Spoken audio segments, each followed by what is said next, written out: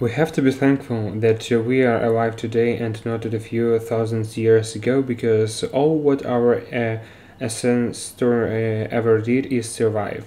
You would get up and spend your entire day just finding food uh, that was, in a sort, the meaning of life.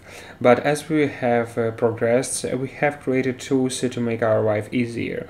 But even then, we didn't really have much free time because even 200 years ago, life was quite difficult. And if you ever had a free time, uh, all that mattered was to drink and relax. But uh, today, in the information age, technology has advanced so much that we literally have a ton of free time. It might not seem like that because uh, you are wasting it on the distractions like the social media, Netflix, alcohol, uh, uh, pornography, and so on.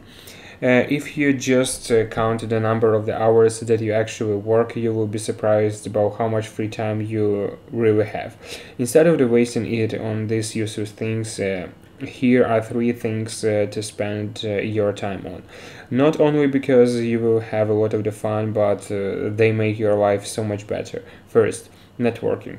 Meeting new people is always fun. Some of the most incredible people that I have met in the life were in the most unexpected places. Most people have two or three friends and they spend their entire time with uh, and imagine the rest of the world to be the same. But it's not. The world is filled uh, with nice and talented people who can add uh, great value into your life. Of course, getting into the streets and meeting stranger people is quite awkward. That's why uh, they are networking events. Uh, there are definitely a ton of the things going into your city where you can uh, meet many great uh, cool people. You just have to put a little effort to find them. Even the idea of uh, this youtube channel actually came from the someone i met in the marathon i went to run. He just told me i have enjoyed talking to you. You are fulfilled with a lot of the great and the positive ideas. You should uh, share with the world and uh, on my way home i thought about uh, what he said and this channel was created second workout people really don't realize uh, how big uh, of the impacts working out uh, can have on your life if you actively go to the gym or exercise, you perfectly know what I am talking about. Yes, of course, it has health benefit, but it's much more than that. It literally energizes uh, you for the entire day. It freshes your mind, boosts your mood and confidence, and reduce stress. Whether you like it or not, attractive people have the advantage over others because they naturally give the positive impressions about themselves. Don't we all like to deal with the people who look nice and attractive? In fact, uh, we often think that attractive people are smarter and more successful, even if uh, that's not in the case. Of course, you cannot uh, choose your genetics, that's completely out of the, your hands. But uh, what you can do is uh, to be in shape. Exercise makes you look younger, healthier, improves your skin, uh, cleans your wrinkles, and you have loosened hair and if you are hair it helps with the hair growth as well.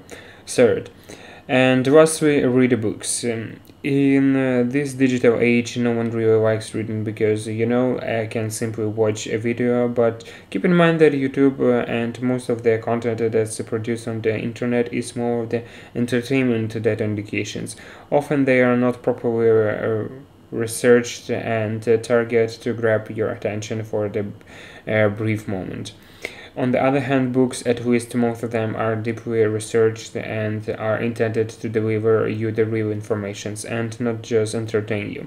Because most people nowadays don't read. By simply reading uh, one book a month, you will be ahead of everyone else in the every aspects of the life. Sometimes uh, all that it takes is uh, one great book to learn everything you need about money, stocks market, dating, or anything else. But keep in mind that you don't have to read uh, every book page to page, just read whatever you are interested in. I will put a list on my favorite books in the descriptions, something you can start with.